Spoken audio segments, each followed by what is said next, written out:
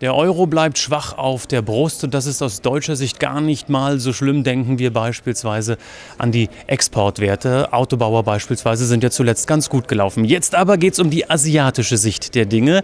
Aus Singapur hierher gekommen Dr. Eckhard Wieck, Vermögensverwalter und Geschäftsführer von Asia for Europe. Da, wo es Verlierer gibt, nämlich ja, Euro-Verlierer oder auch Gewinner, die Exportbranche, muss es im Gegenzug auch den Gegenpart geben. Ist beispielsweise Asien der Verlierer im Gegenzug? Das könnte man natürlich auf den ersten Blick meinen, aber Asien ist insgesamt eigentlich ein Gewinner aus der ganzen Krise gewesen. Schon aus der Finanzkrise 2008, 2009, aus der Wirtschaftskrise ist Asien gestärkt hervorgegangen. Äh, die aktuellen Zahlen, China ein zweistelliges Wirtschaftswachstum dieses Jahr, Singapur beispielsweise hat im ersten Quartal 15 Prozent plus im Bruttosozialprodukt. Das sind für uns unglaubliche Zahlen, die wir in den Europa in den nächsten Jahren nie sehen werden.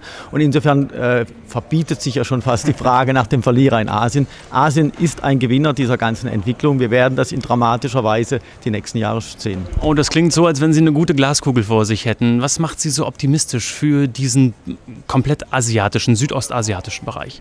Auch da schaue ich ein bisschen in die Vergangenheit, äh, bevor ich in die Zukunft schaue. Asien hat seine Hausaufgaben 1997, 98 in der Asienkrise einfach gemacht.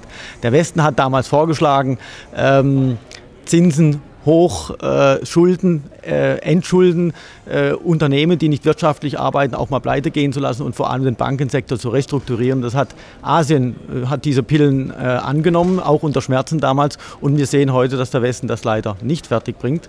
Äh, wir sehen aber, dass das langfristig gewirkt hat und Asien ist heute stärker denn je, äh, strotzt vor Kraft und Selbstbewusstsein und das werden wir auch börsentechnisch sicherlich die nächsten Jahre weitersehen. Abgedroschener Spruch, ich gebe es zu, Stillstand ist Rückschritt. Es geht Ihnen also ganz gut, den Unternehmen, die äh, strotzen vor Kraft, sagen Sie, aber Sie müssen natürlich weiterarbeiten, um diese Position zu behalten. Sie sind viel in der kompletten Region unterwegs. Was sehen, was hören Sie, was tun die Unternehmen, um diese Lokomotivfunktion behalten zu können?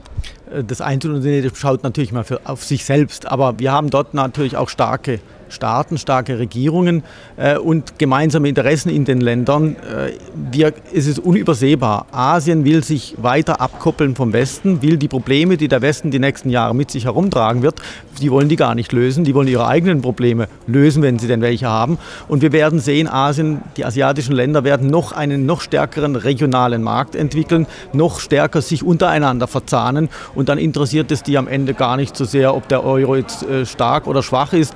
Äh, Im Gegenteil, das stärkt das Selbstbewusstsein der Asiaten und sie sehen, dass eben auch das Muster die Musterregion Europa mit ihrem Staatenverbund an seine Grenzen stößt und sie für ihren eigenen Staatenverbund einen anderen Weg gehen wollen. Mal ganz selbstkritisch, wir deutschen Privatanleger gucken nach Asien und äh, kennen China, keine Frage. Wir kennen natürlich auch Japan. Aber wenn es dann darum geht, viele kleinere Börsen zu bewerten, fällt es einem schwer. Sie sind da gewissermaßen im Vorteil, weil Sie leben in der Region. Ich habe es angesprochen. Welche Börsen, welche Regionen, welche Länder würden Sie aktuell dann übergewichten in einem Depot? Also wie Sie richtig sagen, China ist ja nur ein Aspekt. Wir gewichten China generell in einem Asien-Portfolio mit maximal 15 Prozent. Es gibt 10, 15, 20 andere Länder im Moment. Weiterhin attraktiv ist Indien, Indonesien beispielsweise, auch Korea, wenn es äh, sich nach, äh, nach den Turbulenzen wieder erholen wird.